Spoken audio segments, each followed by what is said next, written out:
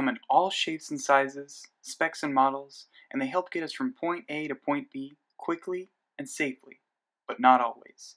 In recent years, advances in technology have led to increased dependencies on things like cell phones.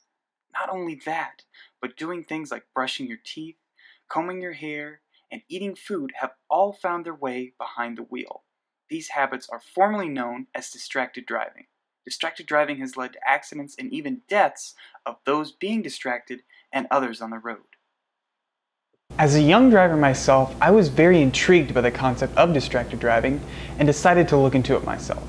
This documentary will serve as a foundation of defining what distracted driving is, how it is detrimental to everyone on the road, what is currently being done, and what can be done to end distracted driving or at least reduce it from its current level.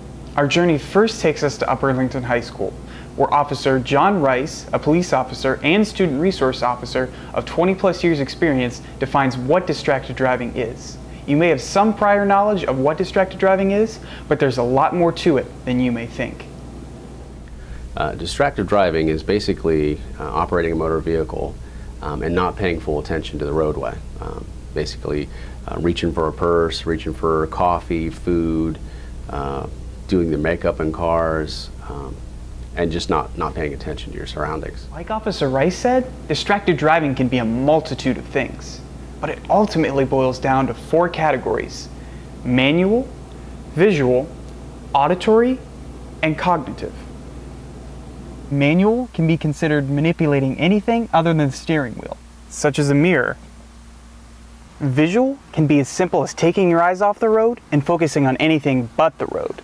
Auditory can be considered hearing anything that isn't related to the road and affects your ability to drive, such as the radio. Cognitive is basically when your mind is not on the road. You could be thinking about something else or even texting. According to Erie Insurance, activities that can be associated with these four criterions are as follows. Objects moving in the car, adjusting parts of the car, adjusting the radio or center console, eating or drinking food, reaching for a device such as a cell phone or GPS, using a cell phone, or even something as simple as talking with passengers in the car. Now that we know what distracted driving is, let's go over why it's detrimental to everyone on the road. I decided to ask Officer Rice what he notices when he's looking for people that are driving while distracted. It's, it's interesting that I have been behind people that have showed indicators that they were impaired. Uh, basically, you know, from alcohol, certain things we look for, not, not maintaining your lanes, uh, not using your signal, um, kind of left to center all over the place, hitting curbs, driving in the middle of the roadway. Um, so I, I, we've actually stopped people thinking that they were impaired, but they weren't. They were actually texting. This clip is a prime example of how distracted driving can be dangerous. This clip is not real, but it does reflect how driving while distracted can make you weave in and out of the opposite lane. The following clip is an actual accident that happened in Florida. The accident was caused by texting while driving. Pay attention to the weaving in and out of lanes.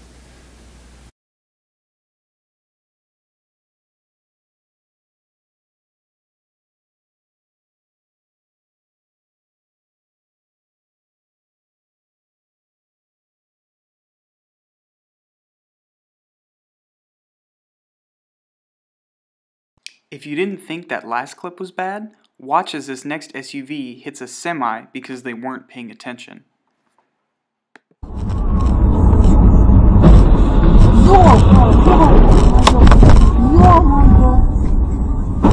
As if those accident videos weren't enough to dissuade you from distracted driving, here's a shocking statistic. If you're driving at 55 miles per hour and you're looking at something other than the road, maybe your phone or a passenger, 4.6 seconds, that's like driving the length of a football field blindfolded. So if you're driving at that speed, or maybe even a slower or faster speed, you're still guaranteed to hit something because your attention is not on the road. Another reason why texting while driving and distracted driving are detrimental to everyone on the road is because they have a real cost. If you get into an accident or injure or kill someone, that person can't be replaced. A life has been lost, and that text you sent or that distraction that took your eyes off the road could have waited. Take a look at some local examples of people who have died because of distracted driving. Adam S. Carter is a Central Ohio teen who lost his life in a car accident in 2008. After police studied the scene and performed an investigation, it was revealed that Adam was texting and driving. He was on his way to school when he hit a dump truck head on while he was texting. Another Central Ohio distracted driving case is the story of Maria Tiberi. Maria Tiberi, whose father is a news anchor for 10 TV News in Columbus, was driving at night when she hit a stopped tractor trailer and was killed. And I looked out the window and I saw seven policemen standing there, and one of them said chaplain. And as a dad, you know, you just know this isn't good. That's a parent's worst nightmare.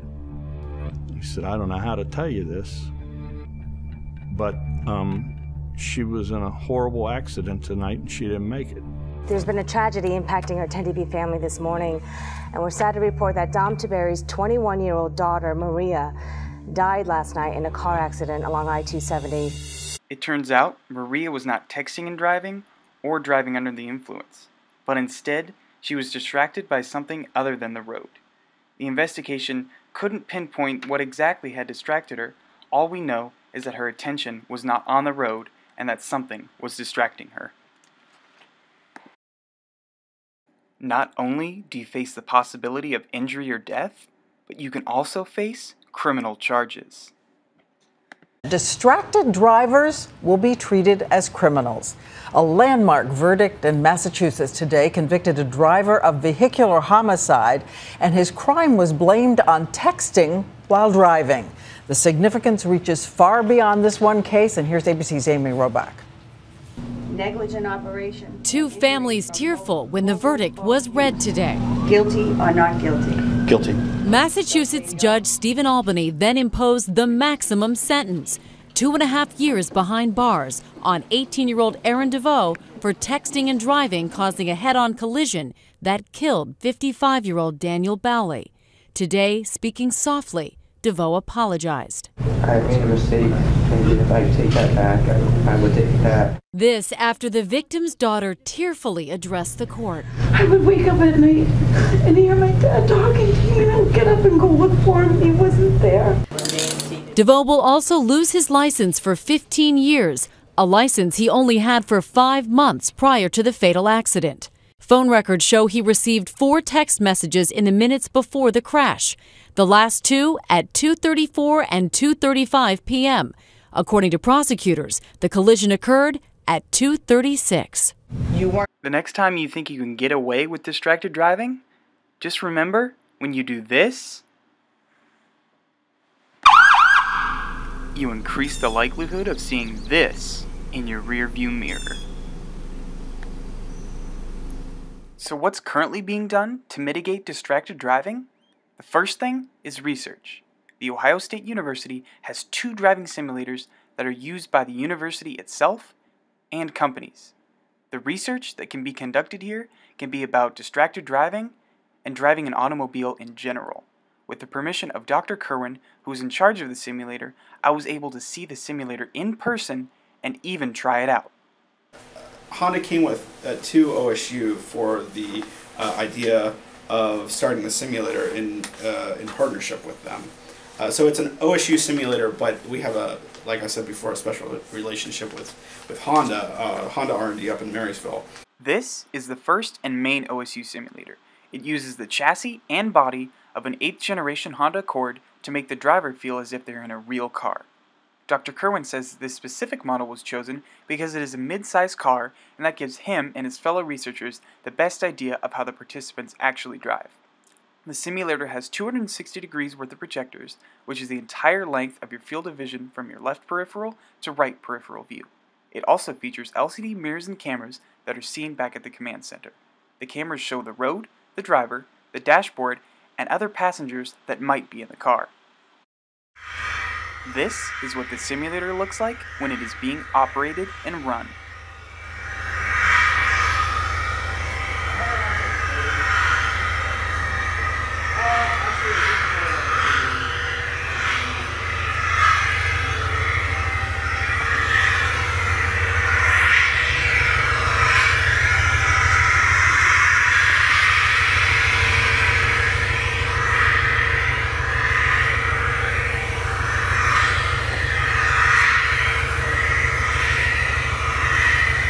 Some of you may have noticed that the lack of an engine might make this simulator less realistic, but that's not true. To make up for an engine, Honda installed pumps and hydraulics that help give people the feel of an actual car, just like an internal combustion engine would. I can say from personal experience, no other virtual reality simulator, such as the Oculus Rift, feels quite like this one. Everything from the braking to the accelerating and even the turning all feel like a real car.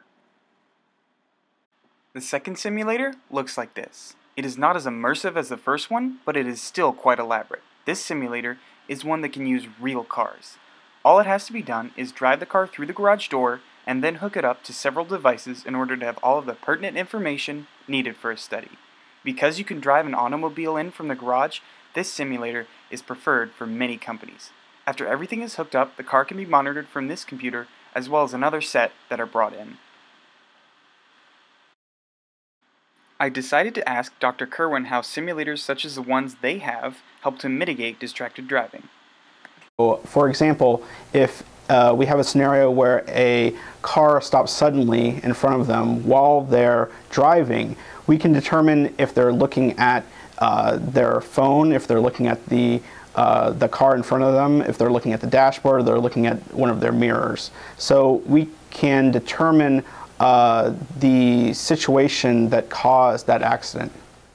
Other than simulators and research, there's laws in place already or being proposed nationwide. Officer Rice describes the law in the state of Ohio in this next clip. Um, there have been laws passed. Um, I believe in 2002, the governor signed a texting bill. Uh, basically, if you're under 18 years old, um, you're not allowed to be on the phone or texting, um, and it is a primary offense if you're under 18. Currently, 38 states and the District of Columbia have penalties for drivers under the age of 18. The penalties can vary, but most make distracted driving in relation to cell phones a primary offense. 14 states have an all out handheld devices in the car ban, and 46 states, plus the District of Columbia and some U.S. territories, have text messaging bans. Laws may be effective for some, but a Boston Magazine article found that one in four drivers won't change their behaviors because of the law. A lot of people see laws as more of a punishment than a deterrent. The final and best way that distracted driving can be mitigated is through advancements in technology.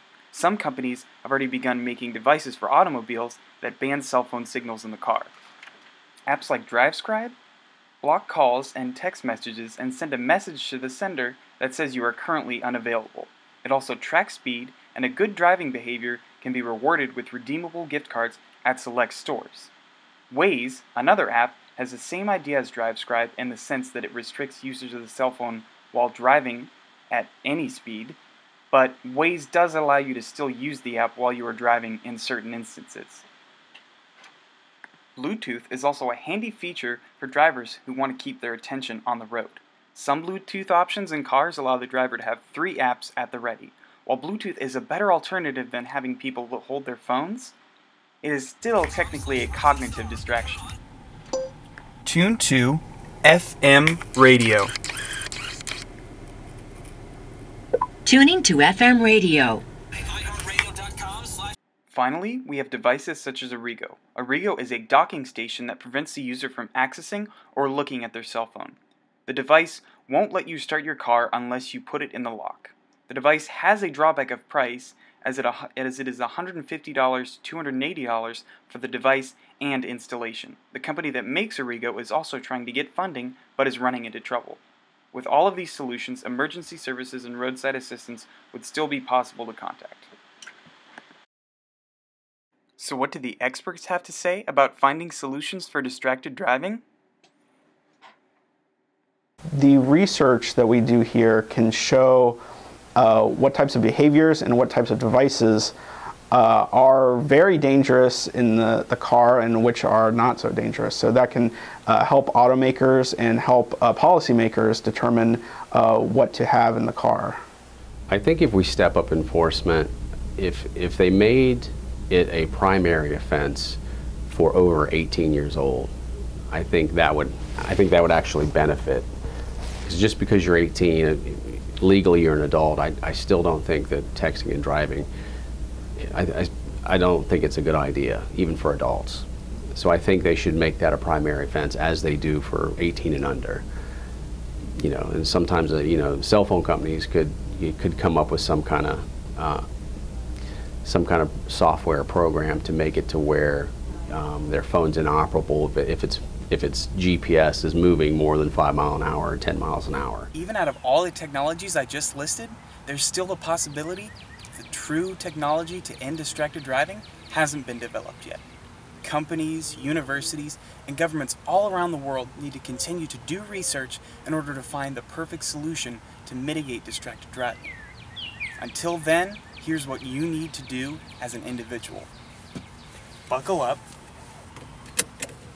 turn your phone off and put it away, and make sure everyone else in the car as well turns theirs off and puts it away And keep your eyes on the road while you're driving.